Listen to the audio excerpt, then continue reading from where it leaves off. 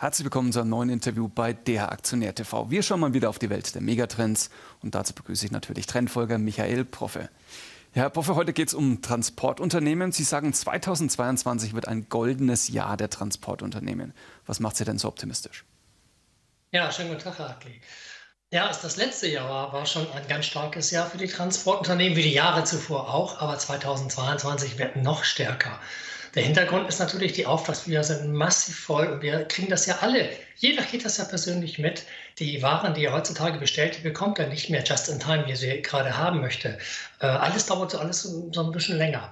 Und die großen Transportunternehmen können jetzt natürlich mit dem Faktor Zeit spielen und dementsprechend Aufschläge auf ihre Transportgüter legen. Deswegen wird die Marge, die die Transportunternehmen 2022 haben, wesentlich höher ausfallen als in den Jahren zuvor. Und das bedeutet natürlich für die Unternehmen und für die Aktienkurse weiterhin steigende Kurse, weil die Gewinne natürlich steigen werden.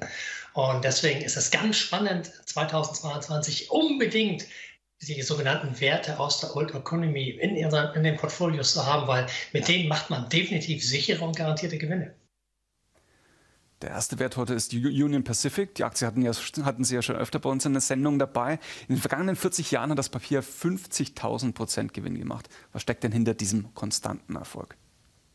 Naja, wir, wer, die großen Kontinente kennt, weiß, äh, wer schon aus dem Kontinent war, so wie Nordamerika, wie groß so ein Land ist, der weiß, dass dort Güter nur über die Schiene von A nach B gebracht werden können.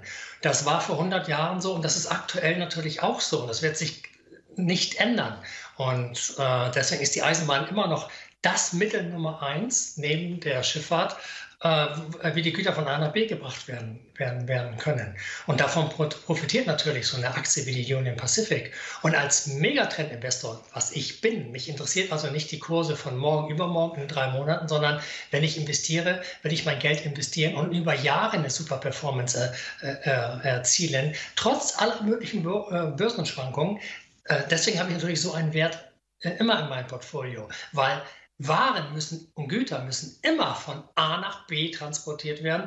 Und je größer die Weltbevölkerung wird, je mehr Waren und Güter müssen transportiert werden. Das ist also eine Milchmädchenrechnung. Und da ist es kein Wunder, dass so eine Aktie seit vier Jahrzehnten, also ich habe den Chart hier von vier Jahrzehnten mit, die Aktie gibt es natürlich schon länger, aber 50.000 Prozent gemacht hat. Das ist sowas wie im Schlaf. Die Aktie hat man in seinem Portfolio. Immer wenn es an den Börsen ein bisschen schwankt und der Kurs runtergeht, kauft man sich noch ein paar dazu.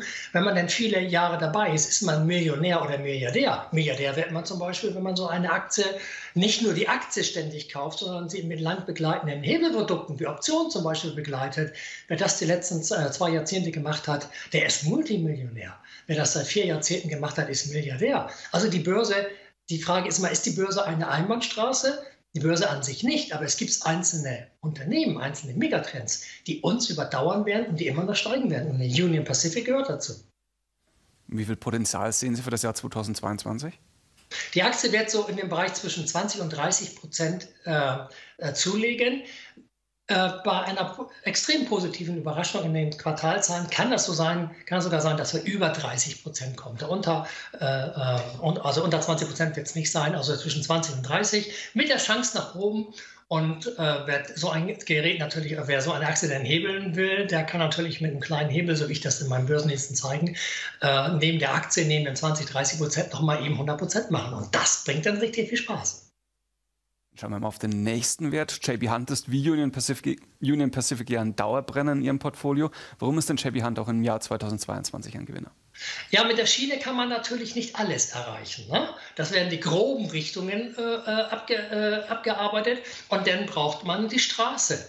Und da kommt JP Hunt als Transportunternehmen, als gewerbliches und privates Gewer äh, äh, Transportunternehmen in, äh, äh, äh, zum Zuge. Die transportieren alle möglichen Produkte, die zu transportieren sind. Und auch die hatten natürlich letztes Jahr ein super Jahr. Das kann man vielleicht in diesem Chart, der, das sind 20 Jahre Chart mit 7000 Prozent. Äh, das ist natürlich ein Hammer. Ne? Da sind Anleger natürlich glücklich, die die ganze Zeit dabei äh, waren. Und seit Corona ist eine gewisse Beschleunigung drin. Ja, die Auftragsbücher steigen, steigen. Die Menschen bestellen mehr. In, in, gewerblich wird auch viel mehr bestellt. Die Auftragsbücher sind voll. Die haben, können arbeiten 24 Stunden am Tag durch. Äh, und dementsprechend kommen natürlich dort auch die Umsätze und die Gewinne rein bei, bei, bei, bei JP Hunt. Deswegen ist es auch nicht verwunderlich, dass so ein Unternehmen seit 20 Jahren eigentlich immer nur nach oben geht. Oh, und das wird sich in den nächsten Jahren auch nicht ändern. Deswegen gehört so eine Aktie natürlich auch ins Portfolio. Die legt man sich hin, kann man gut mit schlafen.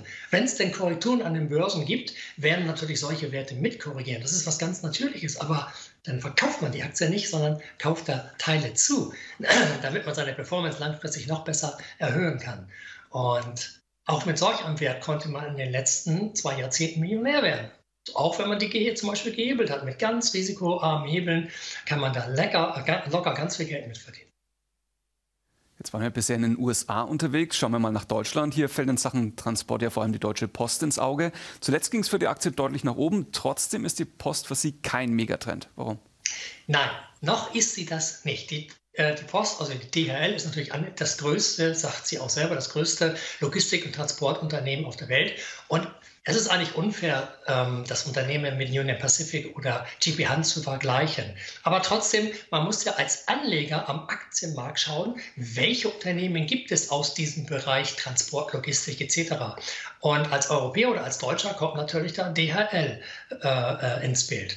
Und wenn wir da uns den Chart anschauen über die letzten zwei Jahrzehnte, dann kann man sehen, das waren nur 440 Prozent. Im Verhältnis zu den anderen beiden ist das ja gar nichts. Da hat man ja bald mehr Geld mit dem Sparbuch gemacht.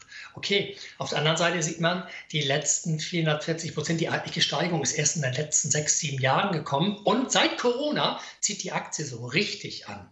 Ja, und wenn man das mit der Aktie so langsam verfolgt, dass ähm, die Gewinne da ständig jetzt von Jahr zu Jahr steigen, weil natürlich durch Corona auch der Onlinehandel richtig in Bewegung gekommen ist, dann muss man die Aktie einfach mal so ein bisschen in den nächsten Jahren auf dem Schirm haben, ob sie das halten kann. Und dann kann die Aktie, weil sie ja weltweit, sie hat über 500.000 mit, über 550.000 Mitarbeiter weltweit, das müsste doch möglich sein, dass die Aktie sich auch in die Regel der Megatrends einreihen kann. Was müsste denn konkret passieren, dass die Post zum Megatrend wird, beziehungsweise für Sie interessant wird?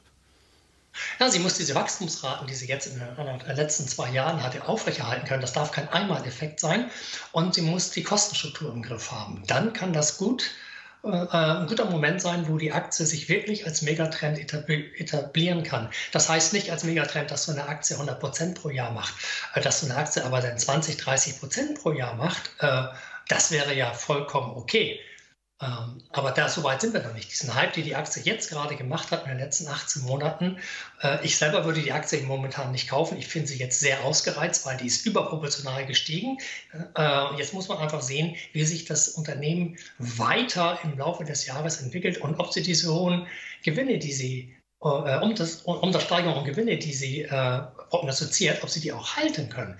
Und dann kann man die Aktie nochmal neu anschauen und dann kann man sehen, ja, das könnte vielleicht ein Megatrend werden. Sagt Michael Proffe. Vielen Dank. Sehr gerne, Herr Akti. Bis zum nächsten Mal. Ja, das war unser Ausflug in die Welt der Megatrends. Vielen Dank fürs Zusehen und bis zum nächsten Mal.